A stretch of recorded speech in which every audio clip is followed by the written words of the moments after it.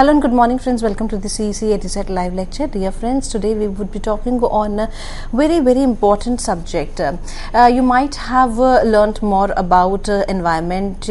Uh, you might be a student of management, uh, but uh, have you ever thought of that uh, environmental management uh, could be one of the best subjects to study?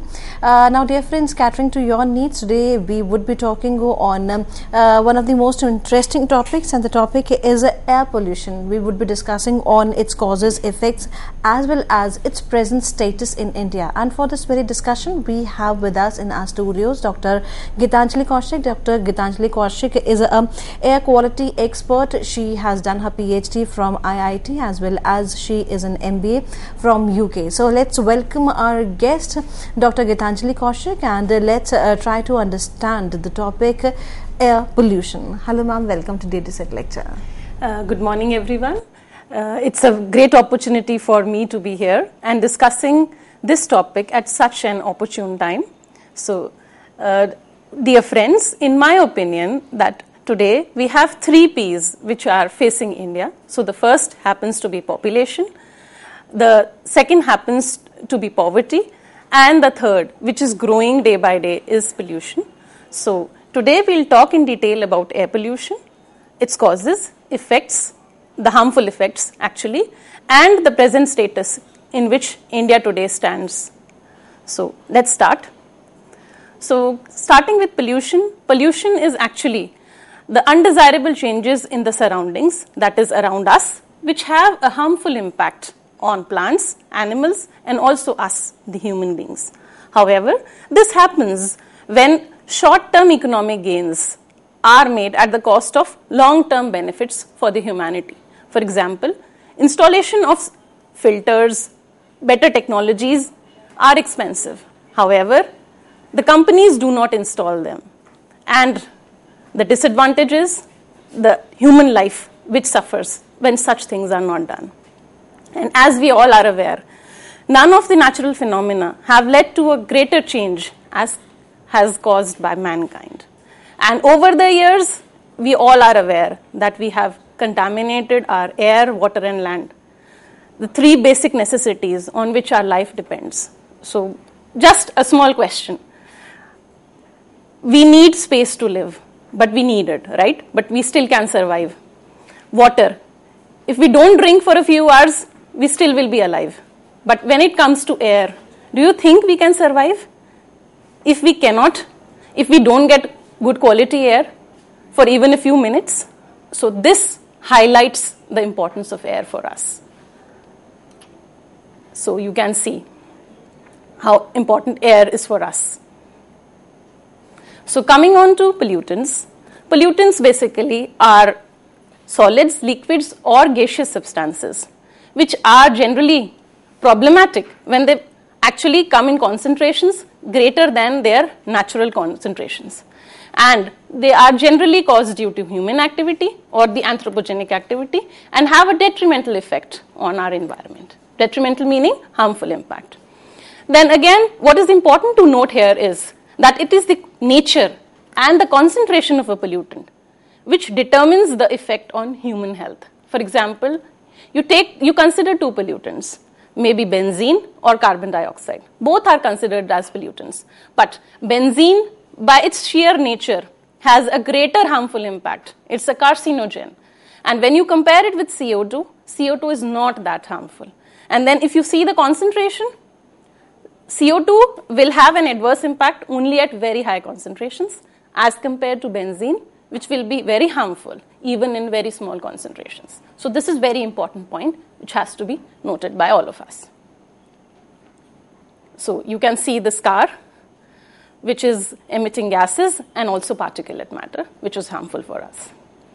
Then, coming on to a broader classification of pollutants from an ecological perspective, there are three categories. The first one is degradable or non persistent pollutants, the second is slowly degradable or persistent pollutants, and the last category is non degradable pollutants. It's easy to understand right from the term First is degradable. Degradable meaning it can be rapidly broken down by the natural processes. So these are organic in nature. So the living organisms can act on these and then break them down. For example, your domestic sewage, the discarded vegetables, as you can see in the slide. This waste is organic in nature. Coming on to the second category, the slowly degradable or the pollutants which remain in our environment for several years in an unchanged state. So they take a decade or maybe longer for their complete degradation. And in this category, we have our pesticides like DDT and most of our commonly used plastics. So they take a long time to degrade. And then the last category is of non degradable pollutants. So these are the ones which do not degrade and they stay in the environment for a very long time. And these are the ones which are harmful as they enter our bodies and start uh, causing impacts. So, in this category, we have toxic elements like lead, mercury, and others. So, now talking about air, what is air? Air is actually a mixture of gases. Coming on to atmosphere, atmosphere is basically a layer of air around the earth which acts like a protective shield. Again, Atmosphere also is a mixture of various gases and also the particles which are suspended. Coming on to the gas which constitutes a major portion, that is nitrogen. The percentage of nitrogen is like 78% in the atmosphere, so it's basically the most abundant gas. However, nitrogen cannot be utilized directly. Excepting few organisms like bacteria and blue green algae, it cannot be directly taken up. First of all, it has to be converted into nitrates through a process of nitrification, and then these nitrates are utilized by plants, and further in the food chain, they actually are taken up by the organisms. The next important gas in the atmosphere is oxygen. It constitutes close to 21%, and as we all know, we all need oxygen to survive. It plays an important role in respiration. Coming on to the third category, you have argon, which is close to 1%, and carbon dioxide. Why is carbon dioxide important? We know that carbon dioxide is the gas that is released from when we breathe or when we respire. And we, also, we always consider that it is only the oxygen which is important. But my friends, just consider this CO2 is as important because this is the gas which is taken up by the plants through the process of photosynthesis. And this gas, in the presence of sunlight, is converted into chemical energy in the form of starch, which is food for all of us. So, this gas is also important. But what is important to realize is the dynamic balance between CO2 and oxygen. And it is because of our activities, this balance is getting disturbed. And once this balance is disturbed, the concentrations keep on increasing, and that is a cause of concern for, for us because it is causing global warming, greenhouse effect then as we have just discussed, this is this table gives us the proportion of the gases in the atmosphere. So nitrogen is the most dominant, almost 78%. The second is oxygen, 21%, and then argon, close to 1%. Then we have carbon dioxide, and the other gases are present in trace amounts. So we have hydrogen here, oxygen, ozone here, and also methane. So, in our atmosphere, even traces of water vapor are present, along with these trace gases. However, what is important to note that these gases are variable and their content varies according to time and place. So, there is both spatial as well as temporal variation. Then, a very important component is the ozone. Why is ozone important? We have been reading this for a long time. Ozone is important because it protects us from the harmful ultraviolet radiations of the sun. And we all are aware that our Antarctica had a big ozone hole. And from this hole, the solar radiations were entering inside our atmosphere uh, and our Earth. And once these harmful radiations enter, they can cause skin cancers. However, it is good news that this hole is now becoming smaller in size. However, we should take care that we do not release those chemicals which disrupt this ozone because this layer is quite important for us. But ozone is always not good. Which ozone is not good? the ozone which is present at the ground level. That ozone is not good and it is a pollutant for us. Then, we've just talked about gases. Now, we'll also talk about the particles which are present. So, there are minute liquid and solid particles present. These are known as aerosols. And most of these are a result of soil erosion, forest fires, oceanic sprays, and are also released from the volcanic eruptions. But these are the natural sources of these particulate matter. The other common sources from the mankind include industrial and agricultural activities, which also lead to a release of these particles into the atmosphere. However, their content is negligible. but these particles are also important because they also serve as condensation nuclei meaning they provide a surface for the water droplets to combine and form clouds. Then they also influence the temperature by interacting with sunlight. So we see how our atmosphere, first of all, is important for us, what are the various components of our atmosphere, and what is the importance of each of these components. So, as we have just discussed, these are the various layers of the atmosphere. So, starting from the surface, you have the troposphere, then you have the stratosphere, mesosphere, and the thermosphere. So, our plane flies in the stratosphere.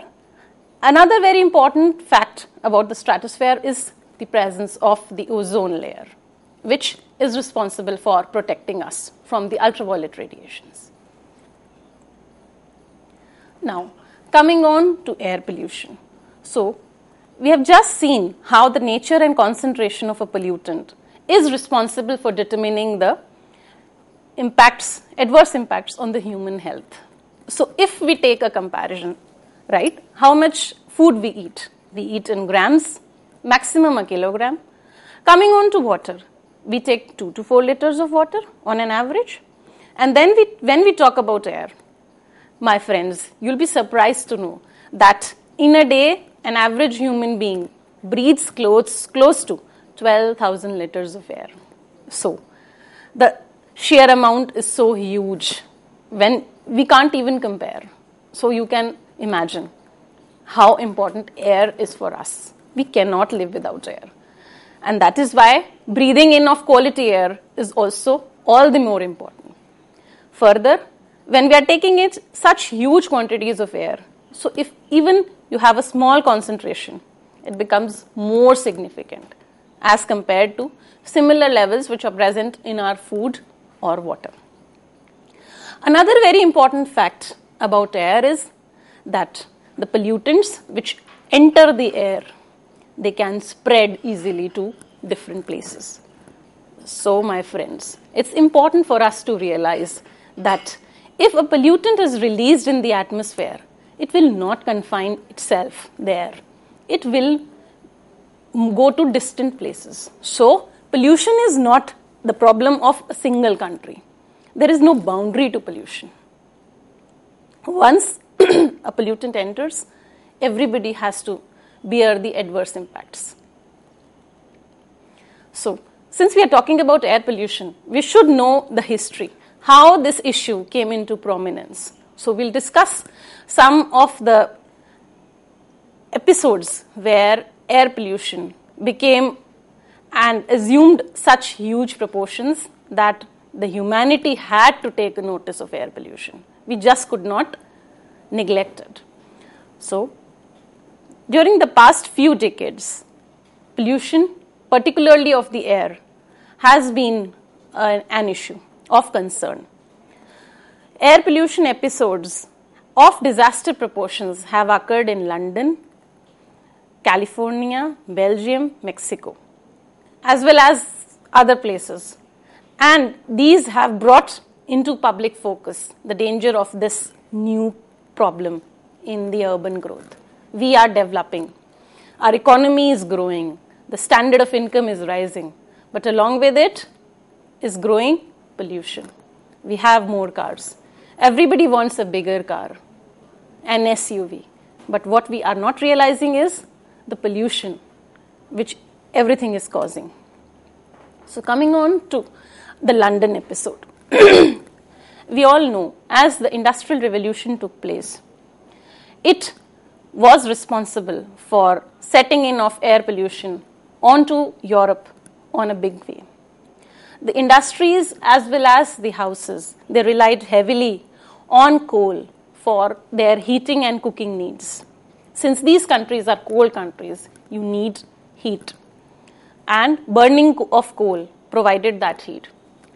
However, when you burn coal, gases are released, for example, sulfur dioxide. And during winters, what happens is the temperature is low, the wind speed is low, so there is no dispersion. And that causes the building up of pollutants in the surrounding air. And this happened during winter months, so the smoke particles trapped in the fog gave it a yellow black color and because the temperature was low and the wind speed was also low, it was not able to disperse and it remained suspended over the city for several days. You'll be surprised to know that during the 20th century, eight episodes occurred only in London between 1948 and 1962. However, the episode which took place in 1952 has been the major one in the history of air pollution. So, in this picture, you can see London and the, the smog which is there. You have to take a clear look over this picture to be able to see this. It's hazy everywhere. So, this fog began on December 4th, 1952, and the pollutants combined with fog. So, together, pollutants and fog are known as smog and for three days the concentration of the pollutants gradually built up and it started causing deaths and as we all know the people who are the most vulnerable are the old elderly and the children. So it was the elderly the patients who died first. And to just to give you an idea the concentration of SO2 that is sulfur dioxide was 1.34 ppm at that time. However, in clean atmosphere, it's just 0.002 ppm. So you can see it's almost 4000 times more than the acceptable. So such a high concentration for 5 days was responsible for causing almost 4000 deaths in the city of London. So coming on to California from London, so there was a small town and in 1948 sulfur, carbon monoxide, and heavy metal dust. They were trapped again due to weather conditions. And in just 14 hours, there was 20 deaths. And as the episode continued and entered into its third and fourth day, half the population, almost 7,000 people of that city, they became sick. And again, it was the elderly which were the most affected almost 29% of them they were seriously ill and it was the upper respiratory symptoms which were in prominence. So there was nasal discharge constriction of the sore of the throat and sore throat which they were experiencing and they were unable to breathe properly. So you can see how this issue came into prominence and how it led to severe health impacts. Now, these were the episodes from abroad. Now, let's talk about let's talk and discuss about an episode which is so very Indian, which happened to Indians. So, unfortunately, this is our Bhopal gas disaster of the 1984. It took place in the intervening night of 2nd and 3rd December in the central part of our country, Bhopal, wherein 40 tons of the toxic methyl isocyanate gas leaked from the tanks. And the city was immediately engulfed into this gas. And as people woke up, they started dying. And the whole place smelled of burning chili peppers. You can see. So, of the half million people, roughly 5 lakhs, more than 2,000 died immediately and as many as 3 lakh were injured seriously. And you can imagine that 30% of the injured people they were unable to return to their jobs. And even today, we are seeing the effects of this disaster. But as we are in India, we still have not been able to give an exact toll. It is said that almost 25,000 people had died. So you can imagine how serious this has been. So, from history, now let's talk about air pollution. So, air pollution is due to the presence of undesirable solid or gaseous particles in the air, and again, they have to be in quantities greater to cause harmful impacts on the human health as well as the environment. So, there are five primary pollutants which contribute to more than 90% of the global air pollution. So, when we talk about these, these are oxides of carbon, oxides of nitrogen, oxides of sulfur, the volatile organic compounds or the VOCs, and the suspended particles or the particulate matter. Now, talking about the sources, so the two main categories are the natural sources as well as the man made or the anthropogenic sources. The natural sources are the oceanic aerosols, the volcanic eruptions, the wind blown dust. So, these are the natural sources. Then, coming on to anthropogenic sources, you have fuel burning, you have transportation, construction, the industries, and the thermal power plants, which lead to significant emissions of gases as well as the particles. So, when we rate these pollutants, the automobiles happen to be the first because of sheer volumes. You have few industries, but when you compare it with automobiles, you have growing number of vehicles on our cities. It's growing. Just to give you an example, it's like 88 lakh vehicles on the roads of Delhi. Even smaller cities, for example, Jaipur, you have 18 lakh vehicles. Even smaller, for example, a tier 2 city like Aurangabad, that also has 9 lakh vehicles on its road. So you can imagine, you have two, three industries. Here you have a huge volume of vehicles. So automobiles happen to be the first rate of polluters, followed by the industries. So, as we have just discussed, so it is due to the presence of undesirable solid or gaseous particles in the air in greater quantities, which can cause harmful impacts on the health and environment. So, when we categorize them further, you have primary air pollutants and you have secondary air pollutants. So, the primary air pollutants are the one which are emitted directly from the sources. They do not undergo any change. So, they are in the form in which they are emitted for example, dust storms and volcanic eruptions, and through human activities, release these five primary pollutants. So, any pollutant which does not undergo any transformation but is in the same form is a primary pollutant or a 1 degree pollutant. As opposed, you have secondary pollutants. So, these are those pollutants which are produced when the primary pollutants interact amongst each other or with the atmosphere. So you have this sulfur, sulfuric acid, the nitric acid, and together they are known as acid rain. So when these oxides of nitrogen and sulfur they interact with the air and the water vapor, they form these acids. So these acids are your secondary pollutants. Even your photochemical smog is a secondary pollutant. So just listing these pollutants for you. So, the five major pollutants are carbon monoxide, sulfur dioxide, nitrogen dioxide, the particulate matter, and ozone. However, you should notice that this is the ground level ozone and not the stratospheric ozone, which is beneficial for us. So, talking first about carbon monoxide, CO, not CO2. CO2 will be carbon dioxide. This is CO. This is a colorless, odorless, however, a toxic gas and is produced when the combustion is incomplete.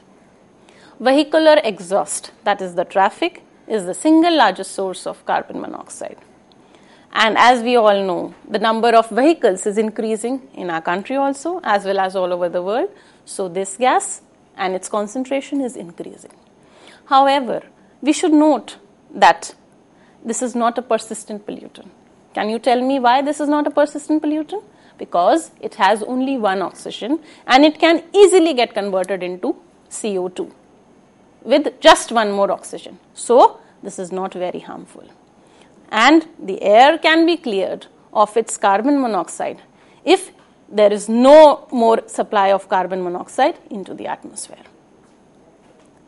However, this gas is a serious pollutant and we learn about its adverse impacts when we see the human impacts. The second pollutant is sulfur oxides.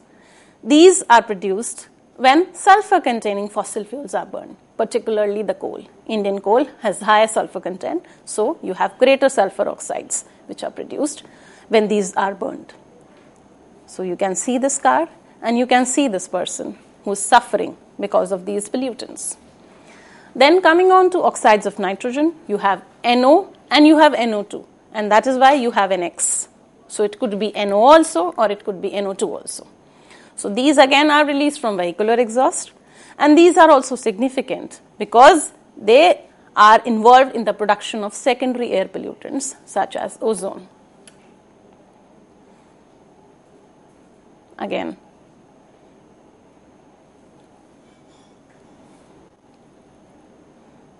So, thank you.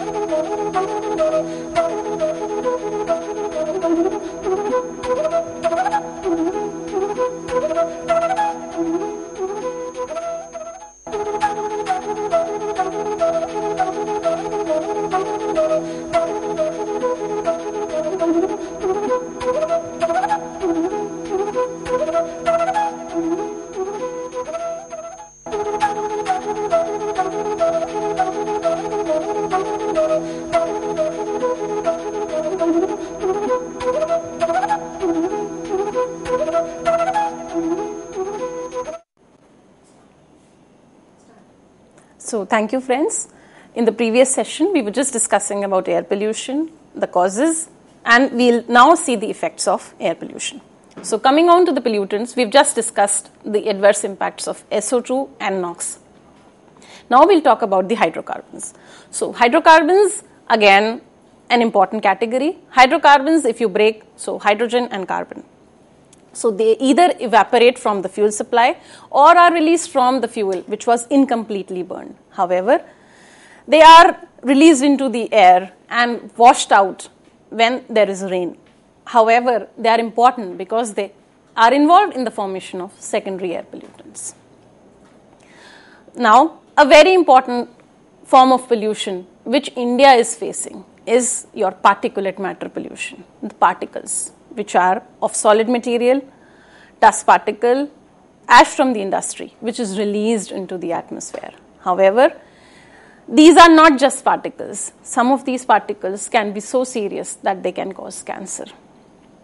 And if you are repeatedly exposed to such particles, they can enter deep inside into your lungs, can cross the barrier, get into your blood, and from the blood, they can reach various parts of your body and exert their harmful effects. So, these particles are so serious.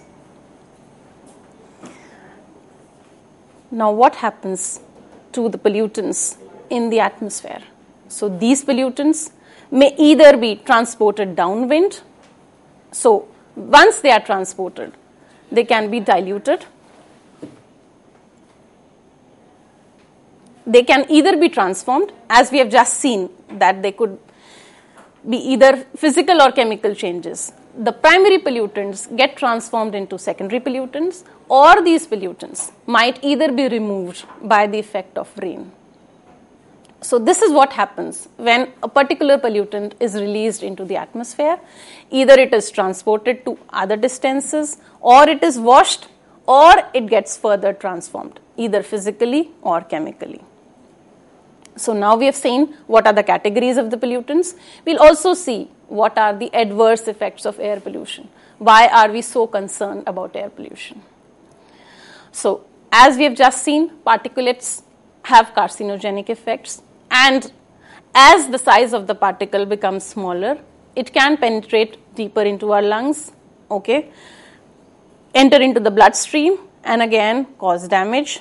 Then the prolonged exposure to high particles is responsible for causing cancer and asthmatic episodes.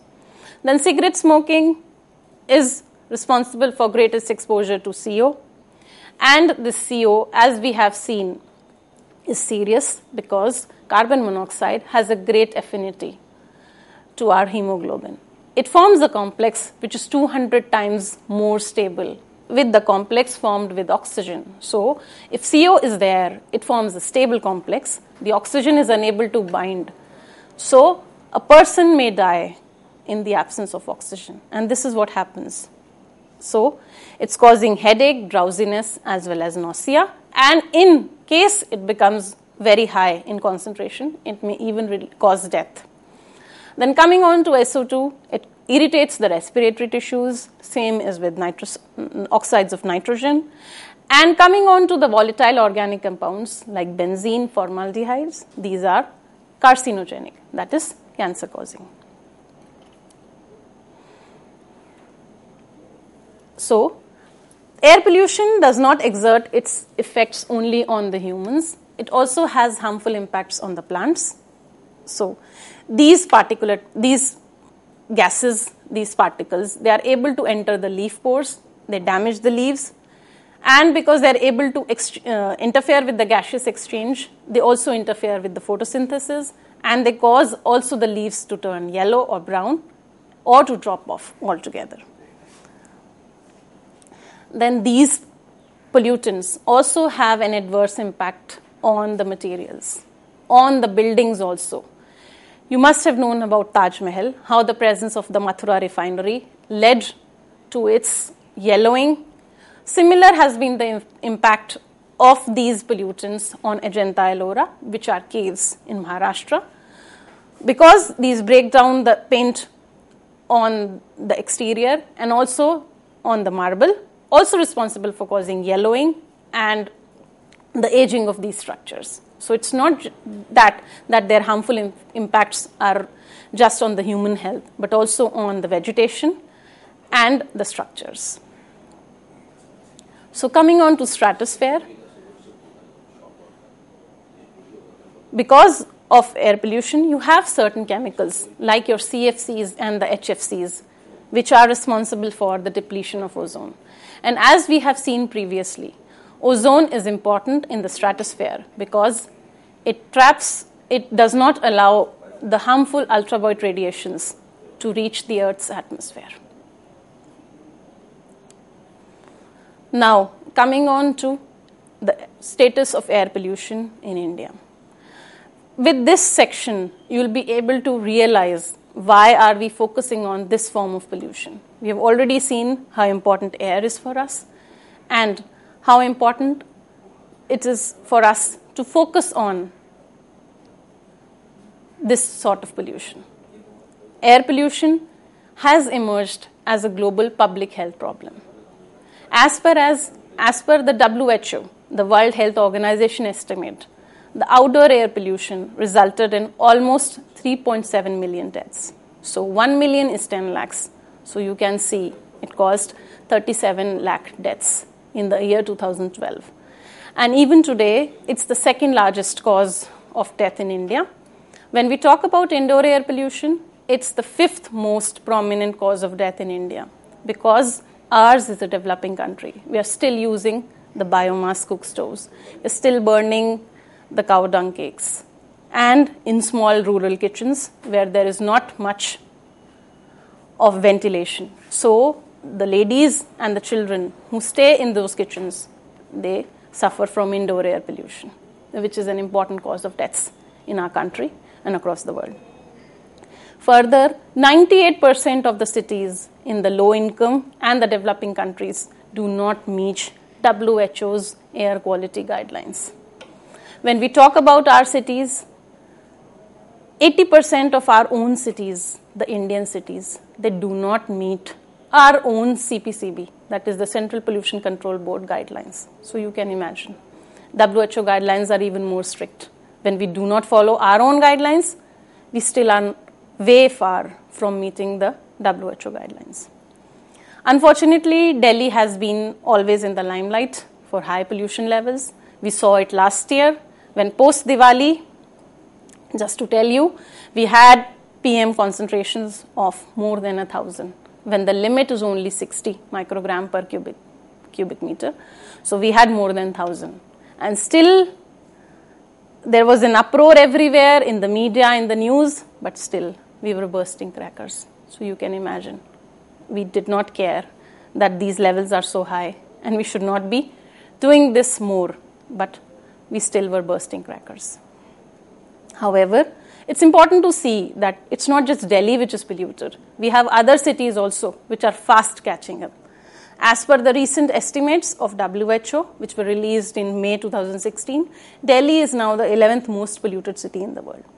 However, we have another unfortunate distinction. Amongst the tw- top 20 most polluted cities, 30, 13 cities are from India. And the other ones which are closely following Delhi are Ghaziabad, Allahabad, Bareilly, Faridabad, Jharia, Alwar, Ranchi, Kanpur, and Patna. So, a very recent report released in January 2017 says that none of our cities comply with the WHO standards, and there are very few cities which are present in the south of India that follow our own standards. So, this is these stats are just to highlight the situation, which is so unfortunate.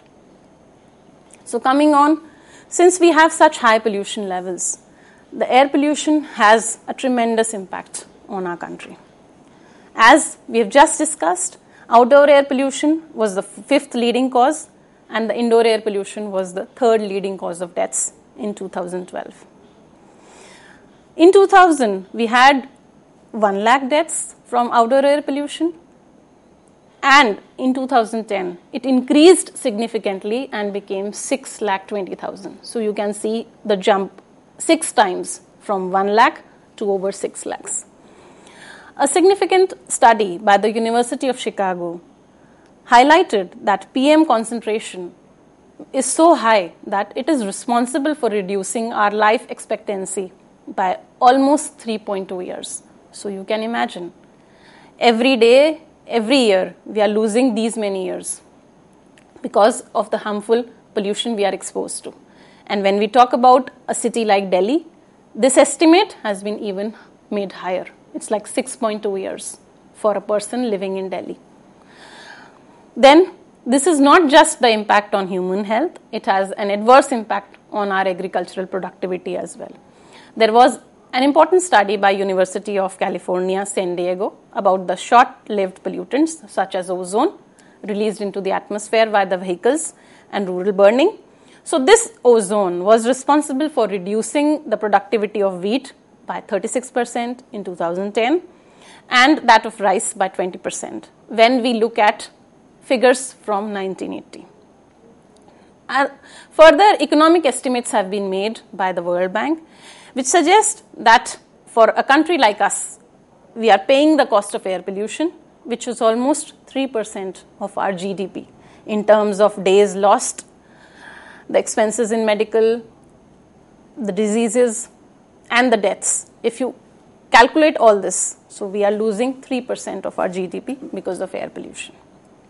So, in the next graph, you will see the concentration trends in India, and these were by CPCB. So this report was released by CPCB in 2014-15. So you can see the figures.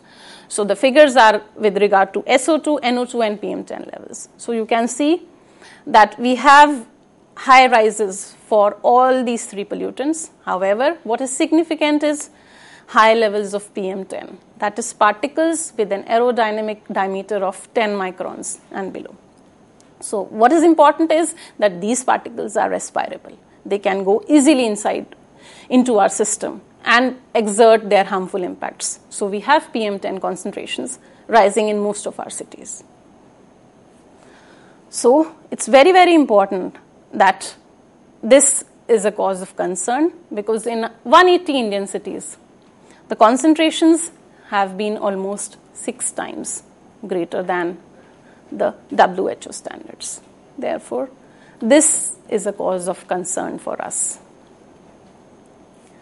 So, when we talk about the control measures, we first of all need proper equipments in place. For example, the industries should have the devices for removing these pollutants at the source where these being emitted.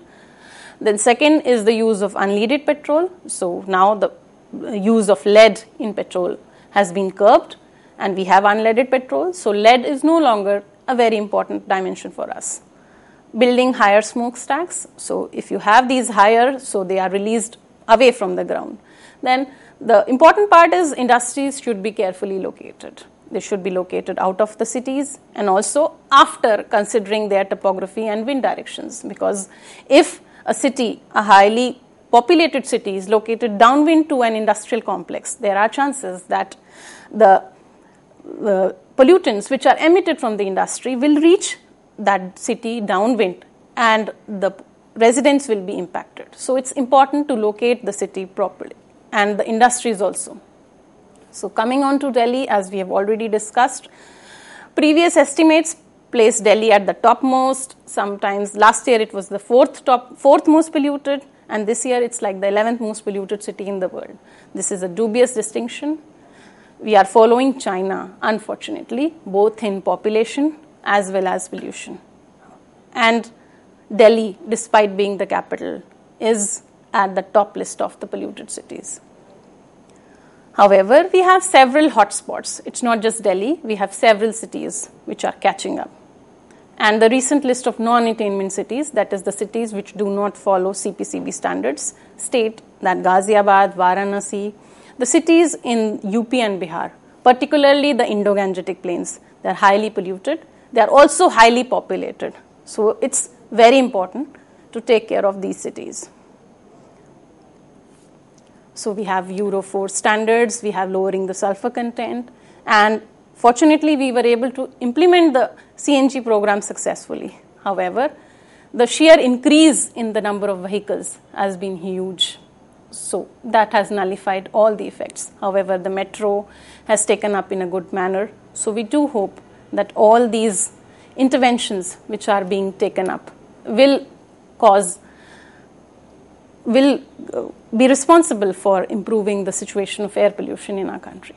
Thank you so very much uh, for giving us a deep insight into the topic that is air pollution and as you have already discussed that it is a, a major cause of concern if we talk about mm, uh, India alone. Uh, so ma'am uh, when we are talking about uh, our country India so we have different regions different parts different states and the condition regarding the air pollution might be different because if we talk about the areas for example the urban area or the mm-hmm. rural areas. Uh, so how would we differentiate uh, the uh, air quality check in the different regions of the country? Mm-hmm. See, th- this is a very good point that you've highlighted. See, first of all, what is important is we have a very huge country and we have cities and it is not uh, it's it's the the issue is that the problem which is in there in one city might not be important for the other every city has its own issue. For example, if you talk about Delhi, we have vehicles. If you talk about Patna, Varanasi, you have brick kilns, which are a cause of concern.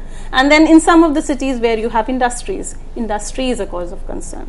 Then you talk about Rajasthan, the dust which is from the desert, that is a cause of concern. So we have different reasons which are contributing to air pollution in the different cities. But we have this monitoring program, the NAMP, National Ambient Air Quality Monitoring Program of the CPCB. So they're monitoring, they have monitoring stations across the country. So we have almost 629 monitoring stations across the country in 29 states. So, how this evaluation is done? Uh, does uh, this evaluation is done on the yearly basis or? Uh, uh no, these pollutants. You, as I just told you, that you have monitoring stations, and we have just seen the criteria pollutants. We have oxides of carbon, you have sulfur, NO2. So these are the ones which are monitored. So twice a week. In places like Delhi, where it is a cause of concern, you have more monitoring stations, and you have two types of mm, again the monitoring stations you have continuous ones and you have manual ones. So most of us are most of the stations are like manual ones and you monitor them twice a week we have seen and we have heard more about that uh, during the festive season, speci- uh, mm-hmm. specifically if you talk about Diwali, which is a, a grand festival and celebrated mm-hmm. throughout the country. So, uh, what is the condition found at that time, uh, specifically covering all the major, um, I mean, cities or the states of the country? So, just to give you some stats Okay, so when we talk about Delhi, so if you take the annual average PM10 of Delhi, so that is like 220, okay, 220 parts, 220 grams per meter cube. So that is the PM10 concentration. That's an average. When you talk about Diwali, the concentrations were like 1200. So you can imagine 220 is the average. Okay, the standard is only 60, and at that time it was close to 1200. So you can see how high the levels were which we were breathing. And when we say we, it includes the elderly, it includes the children, the asthmatics, the pregnant ladies. So you can see how the situation becomes so drastic. And I, I think it's important that now we realize it. We have uh, the uh, certain criteria, parameters to mm-hmm. uh, check the air quality. Does we have any equipments or the machineries available so that uh, uh, the air could be purified? Are there uh, any mechanism so that the air filters could be provided in the different areas so that to an extent we can think of controlling the pollution in the air? Uh, see, as per my opinion, I am not a big fan of these technologies, these masks and the purifiers. I do believe that we have already, you can see the status of water. We are on bottled water now everywhere. Now, these purifiers and masks are coming in India in a big way. But if we don't get air to breathe, then we can't even imagine what is the situation. Mm-hmm. How, how do we survive then if we don't have air? So, what I think is in this regard, if we have smaller traffic islands in between the cities where you have plants, you have plant towers, if we, if we think about natural ways of dealing with pollution, that can go a long way because we are a developing country. We don't have that much finance. We don't have those many resources. So if we can have plants in a big way, indoor air plants are there which purify the indoor air. So if we take care of the plants if we have those shelter belts, traffic belts. So that would be responsible. And then biking, having fewer cars. We need a behavioral change in that. We should not say to our children that when you grow up, you'll have a bigger SUV. No, that's not right. Focus should be on public transport. Now we have a metro. We should think about using more and more public transport. Definitely, though a number of times uh, uh, an attempt is made so that uh, uh, the people of the country could be made aware, and we frequently through different mediums uh, uh, raise awareness campaigns also so that mm-hmm. the people might be aware. Though people know, but still we are in habit of finding a comfortable life for ourselves, and we believe that what measure should be taken should be taken by the other person rather than me. So at the ground level or um, at the uh, um, I would say at the national level, uh, what could be done so that the people would be motivated and uh, they uh, take an uh, attempt so that they could be mm, a reason mm-hmm. to reduce the pollution in the air. See, this uh, you have asked a very important question, and this question has several dimensions in which it can be answered. So, first of all, I think it is important for people to be aware right? We have we did a very small study. We have like display monitors across, so I don't know whether you are also aware. So we went to people and we were just asking them a sim- simple question. See, this you know Delhi is polluted. You know about air pollution. It's there in the media everywhere. But there is this display board. But are you aware that this board exists and what is it displaying? So you'll be surprised to know most people did not know what it was telling. So awareness is very very important. Many people still do not know what is an air quality index. So awareness is key. Second is the monitoring has to be better because if the monitoring is better the results that we are displaying or highlighting so that will make an impact. The third is popularization of your public transport. The industry also has to be taken. They are guilty. They are also responsible for making this air foul particularly the power plants have heard about Badarpur. So I think we are going in the right direction. It's just that it is going to take us some more time before we actually have more clean air.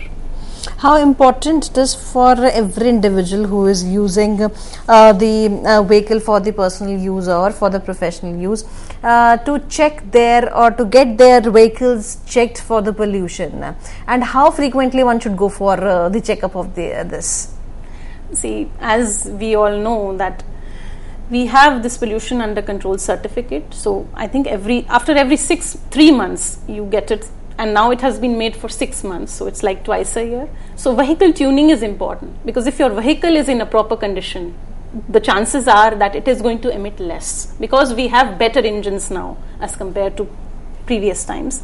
So if your vehicle is in a better condition, if you maintain it regularly, if you have a certificate, I think that's your bit that you are doing to keep a check on air pollution.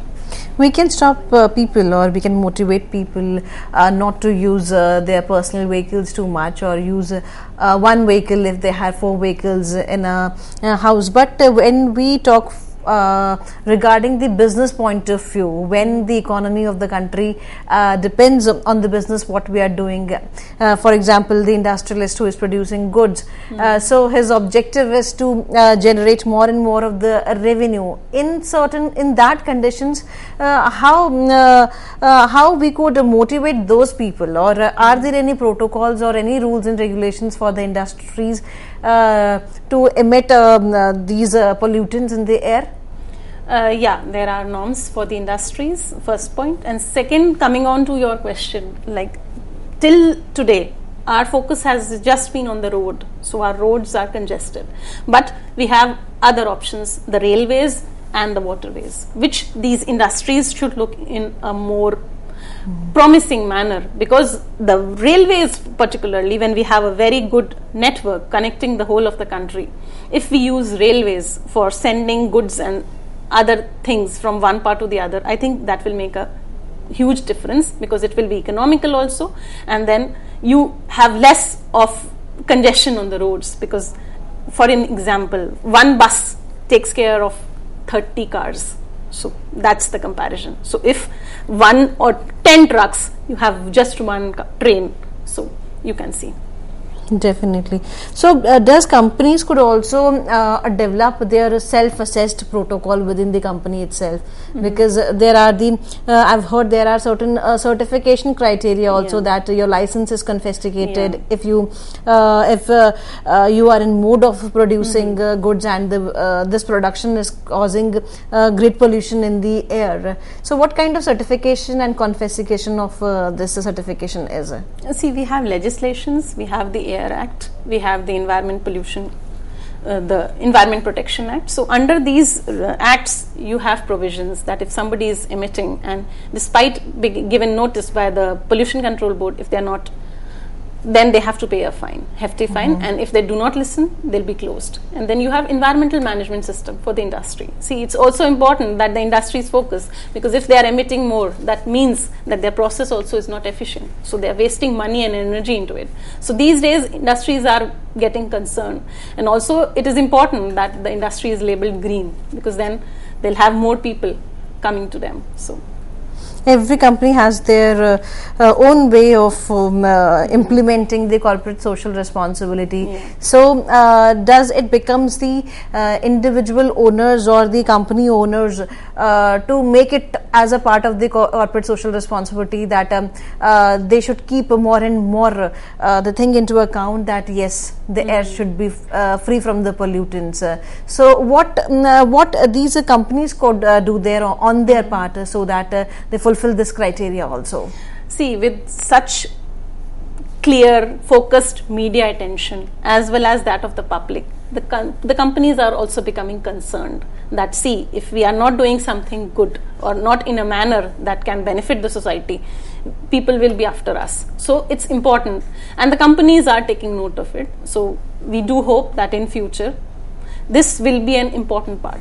In abroad, it has become a very important dimension to be clean and green. So in India also this trend is catching up. So very soon we'll have clean and green companies. Definitely, we'll have uh, a clean environment if each one of us would help. Uh, would lend a uh, helping hand, Uh, so uh, be the part of this particular campaign, which we are required to raise by ourselves. So, through this lecture, we would pledge that we would be contributing our say on this particular campaign. Dear friends, we believe that you might have liked the lecture. If you have any queries, feedback, do write to us at info.cc at the in. And with this note, we would like to thank Dr. Geetanjali Kaushik for uh, uh, giving her precious time as well as inputs to the lecture. Thank you, ma'am. Thank you. Thank you so very much.